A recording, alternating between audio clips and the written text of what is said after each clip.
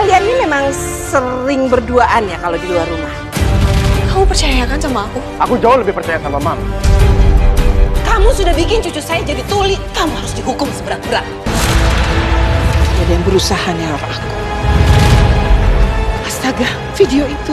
Ma,